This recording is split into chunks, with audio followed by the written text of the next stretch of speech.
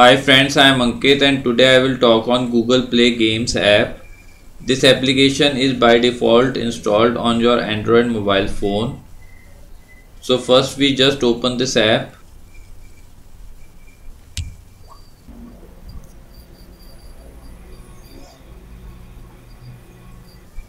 As you can see there are some games available here.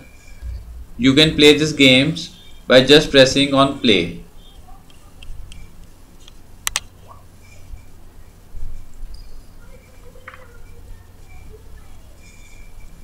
In this app you can play some games without installing it on your mobile phone.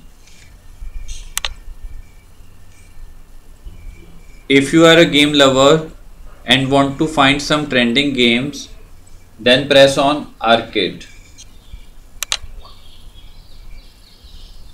Now here press on trending.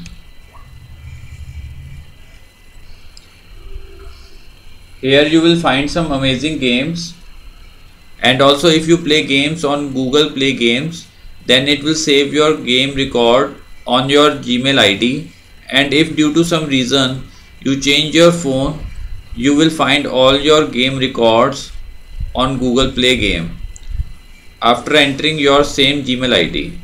I hope you like this app and find this information useful. If you like the video then press on like button and don't forget to subscribe our channel and press on bell icon to receive email notifications free of cost.